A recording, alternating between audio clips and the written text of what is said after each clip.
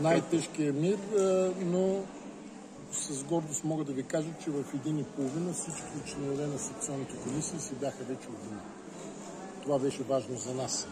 Обработката на протоколите, които са наистина изключително много, на най-големия мир, продължи до сега и в момента имам 100% извадка на, на резултатите.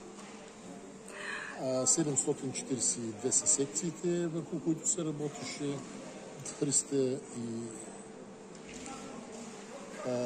гласуваните, гласуваните избиратели са 136 139.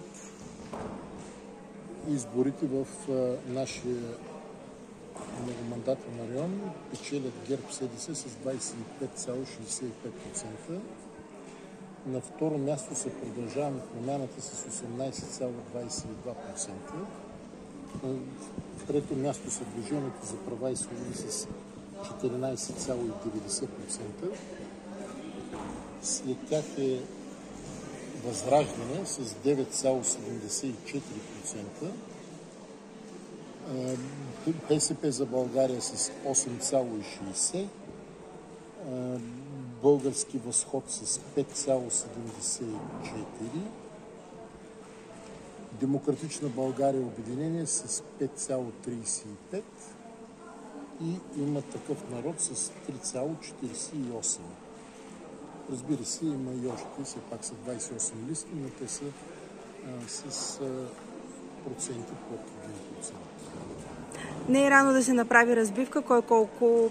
За жалост е рано, защото методиката, която се използва за изчисляване на конкретните мандати, които се получават, изискват, изискват изчисления на база национални данни, но горе-долу едно съотношение 4-3-3 и едно-едно-едно до края е едно вероятно, вероятно разпределение, но разбира се, всичко ще се каже, защото системата, която изчислява мандатите, взема предвид представянето на политическите сили не само в един район, а в национален мащаб.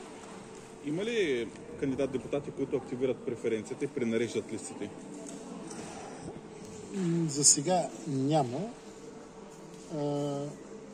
Най-значително, най-добре като преференции се представя от номер едно в ГЕР 5147 също така добре се представя под номер едно от продължаване промяната с 3097. Това са отличаващите се е, кандидати, които получават е, значителен преференциален вод. Но тъй като те са начало на листата, е, то по никакъв начин няма как да променят резултатите, защото доколкото виждам останалите, са значително, значително изостават и едва ли ще влязат в 7% необходими за изместване на